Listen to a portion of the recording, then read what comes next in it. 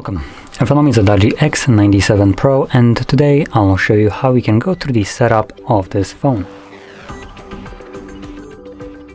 When you boot it up for the very first time, you'll be presented with this screen right over here, which allows you to select your desired language from the list. I'll be selecting English, which was already actually selected. From there we can tap on Start, this will allow us or take us to the next page which allows us to insert a SIM card.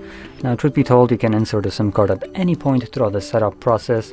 Uh, the reason it's showing up right here right now is because uh, next step is also Wi-Fi connection and if you choose to skip both of them uh, then date and time will not be set automatically which will then allow you to set it up and also Google login page will not show up throughout the setup process. Anyway, I'll be skipping both of them, so you'll kind of see what I mean. So there's the Wi-Fi. Obviously you can connect to it if you want to, but I don't want to, so continue without it.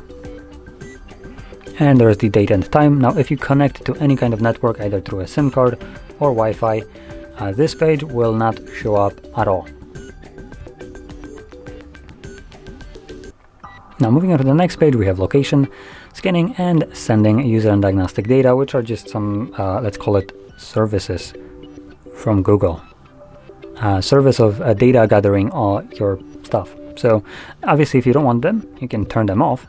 Uh, keep in mind that some uh, applications that require scanning or like location, stuff like that, so use location. Uh, if you turn that off, then some apps will just simply not want to work without the location being enabled and it will tell you that you need to turn it on uh, to actually use an app. Now to name apps that tend to do this, those are usually the smart home apps which for love of effing god why do you need location for a smart home? You're already connected to the damn Wi-Fi. There is no reason for you to know where I'm located at right now.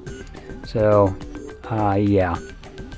Obviously you can turn it off and also, just kind of gauge out what apps want your location access whenever they ask you for it because it's off.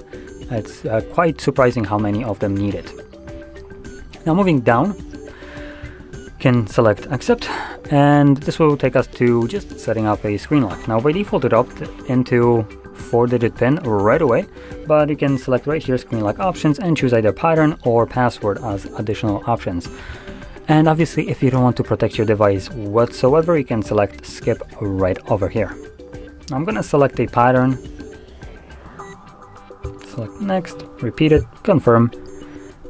So now I have a pattern set up. And it looks like this actually finishes up the setup, so there we go.